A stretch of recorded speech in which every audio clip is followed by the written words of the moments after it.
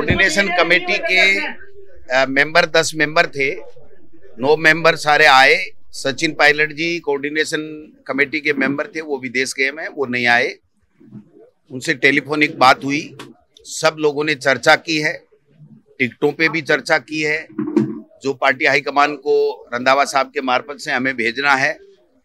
आ, जो किस तरीके से उपचुनाव की रणनीति के तहत हमको चुनाव लड़ना है, किन लोगों को वहाँ पर ड्यूटी लगानी है, कैसे कैसे वहाँ पर व्यवस्थाएँ करनी है, क्योंकि डबल इंजन की सरकार, साम दाम दंड भेद, सत्ता का दुरुपयोग, प्रलोभन, डराना, धमकाना, ट्रांसफ़र की धमकी देना, ये सारी चीज़ें करेगी, वो सारी चीज़ें हमारे संज्ञान में है।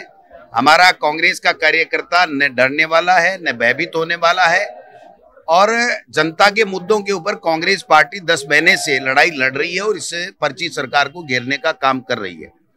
तो हमने ये सारी रणनीति बनाई है और पहले से हमने सीनियर कोऑर्डिनेटर बना करके चुनाव इलेक्शन प्रभारी बना करके, प्रदेश कांग्रेस कमेटी के बना करके, अग्रिम संगठनों ने अपने इंचार्ज बना करके हमने पूरी तैयारी कर ली है।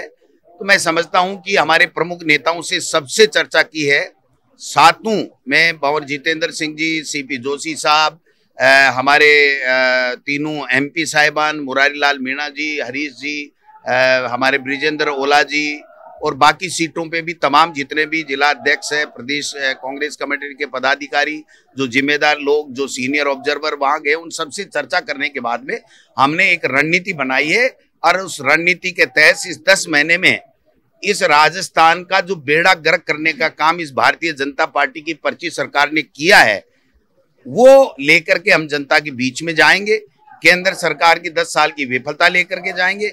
हमारी सरकार के समय जो अच्छी योजनाएँ थी उदाहरण के लिए मुख्यमंत्री चिरंजीव योजना जैसी योजना, उससे लोगों को राहत मिल रही थी, गरीबों को, वो सारी की सारी इन्होंने बंद कर दी है, केवल समीक्षा के नाम से और ईडी, सीबीआई, इनकम टैक्स की धमकी के आधार के ऊपर ये लोग बाग राज करना चाहते हैं। भ्रष्टाचार इनके सब जगह व्याप्त हो गया है और जितने भी ट्रांसफ़र हुए हैं, उसमें भ्रष्टाचार की बू आ रही है। ये सारी जनता जान चुकी है, जनता ये कह रही है, सरकार चला कौन रहा है, चल कहाँ से रही है, इसका कंट्रोल कर एक उदाहरण देकर के मेरी बात समाप्त करूँगा कि करीब करीब 40 करोड़ रुपए इस विदेश यात्राओं के ऊपर, मुख्यमंत्री जी उप मुख्यमंत्री जी, ब्यूरोक्रेसी के ऊपर 40-50 करोड़ रुपए खर्च कर दिए। एक रुपए का इन्वेस्टमेंट ये लेकर के नहीं आए। पहली बार देखा है कि कोई विदेश जाकर के न्योता देकर के आता है, उसके ऊपर स्वागत कराता है और मुख्यमंत्री के स्वागत में पचास लोग नहीं आते हैं तो मैं समझता हूँ कि ये इस तरीके का अपनी पिकनिक, शेर सपाटे और पर्यटक बन करके विदेशों में घूम करके राजस्थान के लोगों की गाड़ी कमाई को बर्बाद करने का काम कर रहे हैं। इसका जवाब इस उपचुनाव में जनता देने जा रही है।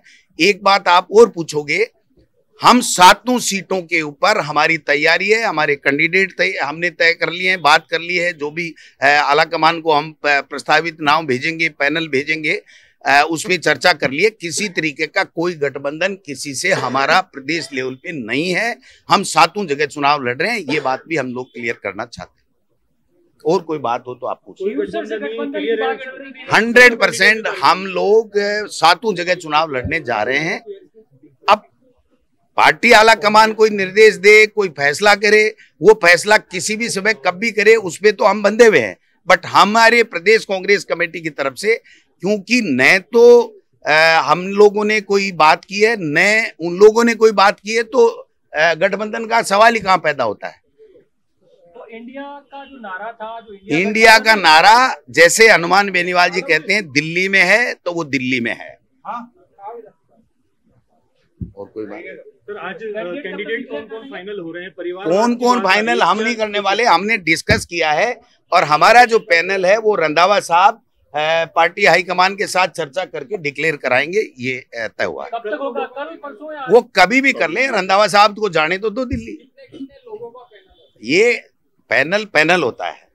पैनल का नाम सिंगल नाम भी हो सकता है दो भी हो सकते हैं तीन भी हो सकते हैं उसमें डिस्कस हुआ है।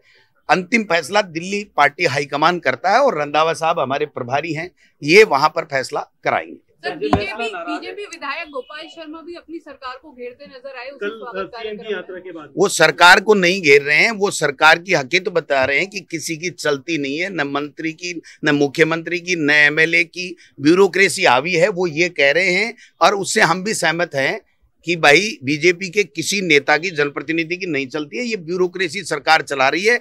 ये एक तरीके से वो जो पर्ची सरकार है, उसको सार्थक करने का काम कर रहे हैं।